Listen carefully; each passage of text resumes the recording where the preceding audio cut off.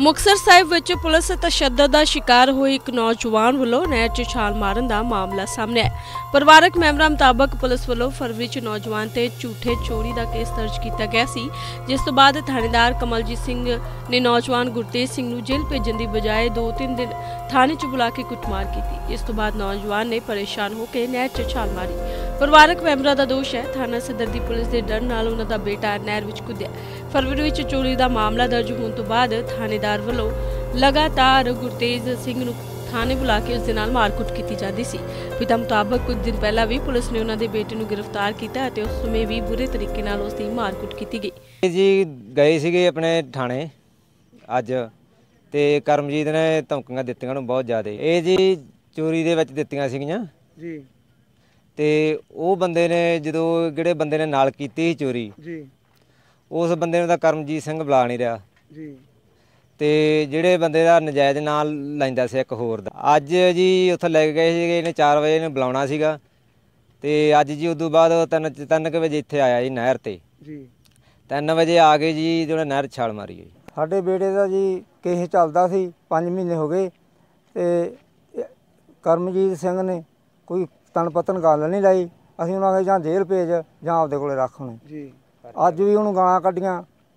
ਅੱਗੇ ਵੀ ਸਾਨੂੰ ਦੂਜੇ ਦਿਨ ਸਦਾ ਲੈਂਦਾ ਸੀ। ਗਾਲਾਂ ਕੱਢਦਾ ਸੀ। ਅੱਡੀਆਂ ਵੀ ਮਾਰੀਆਂ ਉਹਨੇ। ਪਹਿਲੇ ਦਿਨ ਉਹਦੀ ਨਾਠ ਆਤੀ ਅਸੀਂ 10000 ਰੁਪਇਆ ਲਾ ਕੇ ਆਪਰੇਸ਼ਨ ਕਰਾਇਆ ਉਹਦਾ। ਲੜਕੇ ਨੂੰ ਅੱਜ ਅਸੀਂ ਲਗਾਏ ਹਾਂ 10 ਵਜੇ। ਉਹਨੇ ਫਿਰ ਪੁੱਠਾ ਸਿੱਧਾ ਇੰਨਾ ਬੋਲਿਆ ਉਹਨੂੰ। ਅਸੀਂ ਵੀ ਉਹਨੂੰ ਲੜੇ। ਉਹ ਕਹਿੰਦਾ ਜੀ ਮੈਨੂੰ ਘਰ ਦੇ ਵੀ ਲੜਦੇ ਥਾਣੇਦਾਰ ਵੀ ਲੜਦਾ। ਉਹ ਬੰਦੇ ਨੂੰ ਬੁਲਾਉਂਦਾ ਨਹੀਂ ਜਿਹੜਾ ਨਾਲ ਚੋਰੀ ਆ। ਹੋਰ ਬੰਦਾ ਉਹ ਤੋਂ ਭਾਲਦਾ। ਜੀ ਅਸੀਂ ਜਾਣਾ ਸੀ 4 ਵਜੇ, ਉਹ ਆ ਗਿਆ ਘਰੋਂ, ਵੀ ਮੈਂ ਉਹਨਾਂ ਨੂੰ ਬੁਲਾ ਕੇ ਲਿਆਉਣਾ, ਜਿਨ੍ਹਾਂ ਨੇ ਉਹਨੂੰ ਬੁਲਾਇਆ। ਉਹਦੇ ਮਨ 'ਚ ਪਤਾ ਨਹੀਂ ਕੀ ਵੜਿਆ, ਕੀ ਨਹੀਂ ਵੜਿਆ, ਉਹਨੇ ਆ ਕੇ ਨਹਿਰ ਛਾਲ ਮਾਰੀ।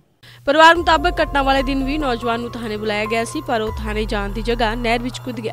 ਦੂਜੇ ਪਾਸੇ ਪੁਲਿਸ ਨੇ ਪਰਿਵਾਰਕ ਮੈਂਬਰਾਂ ਵੱਲੋਂ ਲਗਾਏ ਦੋਸ਼ਾਂ ਨੂੰ ਨਕਾਰਦੇ ਹੋਏ ਨੌਜਵਾਨ ਵੱਲੋਂ ਖੁਦਕੁਸ਼ੀ ਦਾ ਕਾਰਨ ਘਰੇਲੂ ਦੱਸਿਆ।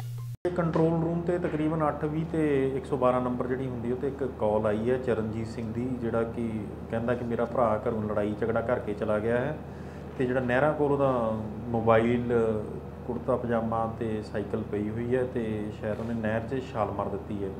ਤੇ ਜਦੋਂ ਹੀ ਸਾਨੂੰ ਸਾਡੇ ਕੰਟਰੋਲ ਰੂਮ ਤੇ ਜਾਣਕਾਰੀ ਮਿਲੀ, ਤੁਰੰਤ ਸਾਡੀ ਜਿਹੜੀ ਪੁਲਿਸ ਪਾਰਟੀ ਹੈ, ਉਹ ਉੱਥੇ ਪਹੁੰਚੀ ਹੈ। ਤੇ ਉਸ ਚੀਜ਼ ਦੀ ਅਸੀਂ ਉਸ ਲੜਕੇ ਦੀ ਭਾਲ ਕਰਦੇ ਪਏ ਹਾਂ। ਫਿਲਹਾਲ ਹਜੇ ਉਸ ਦੀ ਭਾਲ ਹੀ ਜਾਰੀ ਹੈ। ਇਸ ਚੀਜ਼ ਦੀ ਪੁਸ਼ਟੀ ਕਰ ਰਹੇ ਹਾਂ ਕਿ ਵੈਦਰ ਕਿ ਉਹਨੇ ਉਹ ਛਾਲ ਮਾਰੀ ਹੈ ਕਿ ਕੀ ਕੀ ਹੈ। ਬਹਰਹਾਲ ਪੁਲਿਸ ਵੱਲੋਂ ਨੌਜਵਾਨ ਦੀ ਭਾਲ ਕੀਤੀ ਜਾ ਰਹੀ ਹੈ ਪਰ ਜ਼ਰੂਰੀ ਹੈ ਇਸ ਮਾਮਲੇ ਦੀ ਗਹਿਰਾਈ ਨਾਲ ਜਾਂਚ ਕਰਨ ਦੀ ਤਾਂ ਕਿ ਸੰਬੰਧਿਤ ਲੋਕਾਂ ਖਿਲਾਫ ਕਾਰਵਾਈ ਹੋ ਸਕੇ। ਮੁਕਤਸਰ ਸਾਹਿਬ ਤੋਂ ਇਸ ਸ਼ਾਂਤ ਦੀ ਰਿਪੋਰਟ ਡੇਲੀ ਪੋਸਟ ਪੰਜਾਬੀ। ਤੇ ਉੱਤੇ ਛਾਪੀ ਫਿਰਦਾ ਤੇਰਾ ਨਾਮ ਮਟਿਆਰੇ ਨੀ